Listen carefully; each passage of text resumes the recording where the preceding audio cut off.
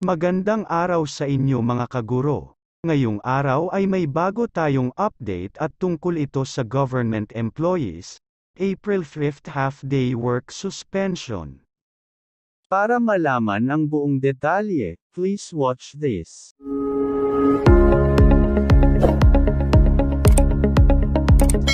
Government employees, April 5th half-day work suspension. The government is suspending work in government offices from 12 p.m. on April 5, 2023, to allow employees to observe regular holidays on April 6 to 2023, and to facilitate their travel across the country.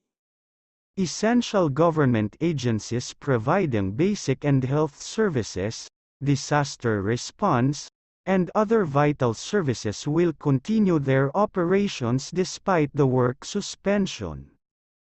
Private companies and offices have the discretion to decide whether to suspend work for their employees. As the suspension is not mandated for them, this directive takes effect immediately.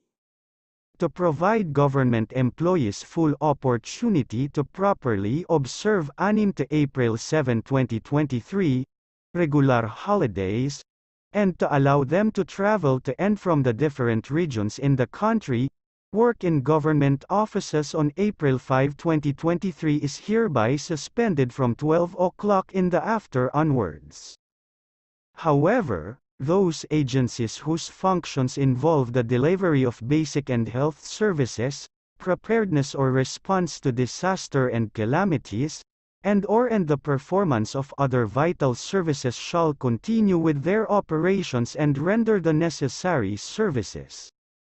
The suspension of work in private companies and offices is left to the sound discretion of their respective employers. This circular shall take effect immediately. Yun lamang ang ating update ngayong araw. Please don't forget to like, share and subscribe to our YouTube channel and follow our Facebook page. BFAM Salamat.